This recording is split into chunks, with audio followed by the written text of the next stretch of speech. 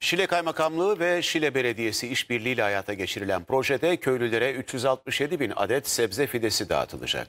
Tarım arazilerinin kullanımının etkinleştirilmesi ve yerli fidelerle sebze üretimi yapılmasını amaçlayan projede çiftçi girdi maliyetlerine de destek olunması hedefleniyor. Sizi de standımıza bekliyoruz.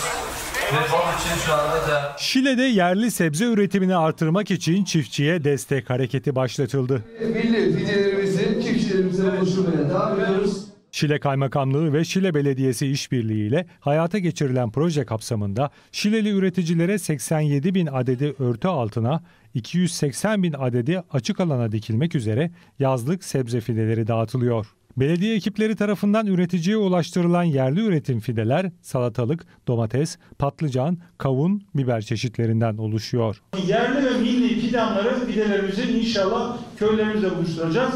Çünkü artık dışarıya bağımlı olmayacağız. Şimdiden bu fideler hayırlı olsun.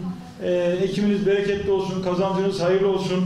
Tarım arazilerinin kullanımının etkinleştirilmesi ve yerel fidelerle sebze üretimi yapılmasını amaçlayan projede çiftçi girdi maliyetlerine de destek olunması hedefleniyor. Ve buluşturacağız.